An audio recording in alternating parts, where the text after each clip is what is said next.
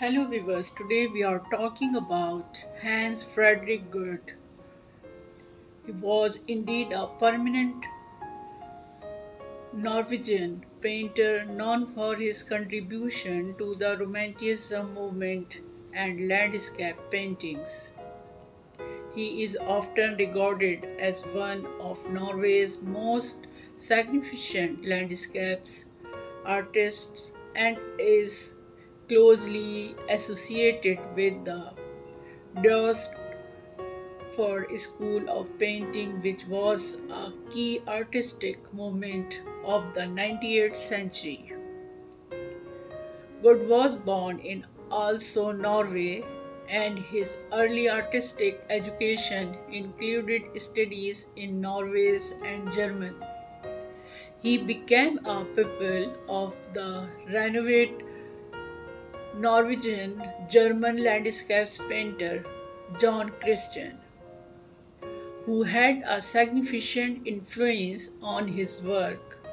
Gude's artistic career took him to Düsseldorf, Germany, where he joined the Düsseldorf School. His school was known for its meticulous attention to detail and its focus on realistic representation of nature. Gude's art was characterized by his skillful portrayal of natural landscapes, often featuring the Norwegian fjords, forests, and coastal scenes. He was celebrated for his ability to capture the play of light and shadow in his work, which contributed to the romantic and nationalistic themes of his paintings. His art often conveyed a strong sense of national identity and love for the Norwegian landscapes.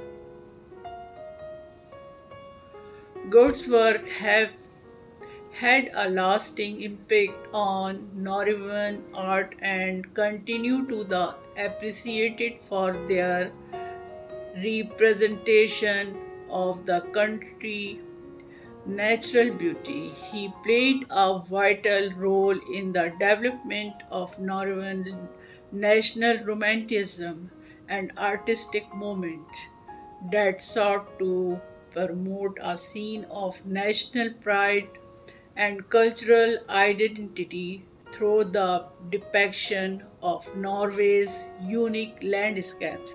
Gude's paintings are not only admired to their technical skill but also for their ability to evoke a deep sense of connections with the Norwegian landscapes and culture.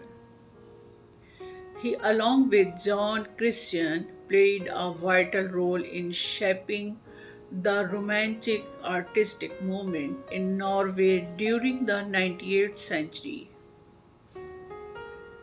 Hans Fredrik Gude's contribution to Norwegian art have left a lasting legacy and his work is still highly regarded in the art world today.